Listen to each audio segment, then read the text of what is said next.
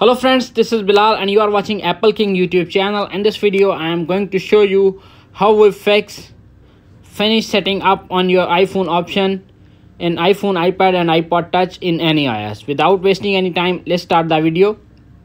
Firstly tap on finish setting up on your iphone. Finish setting up your iphone. Get the most out of phone with the features like apple id siri face id and apple pay tap on finish setting up.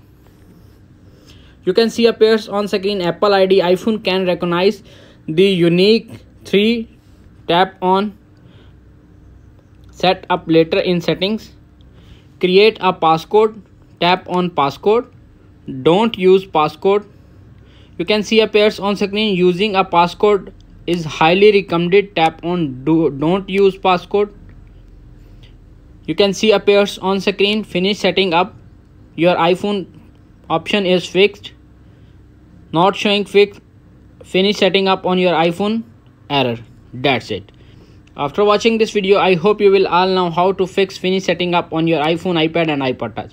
If the video is helpful for you please don't forget to share and subscribe my youtube channel. Thanks for watching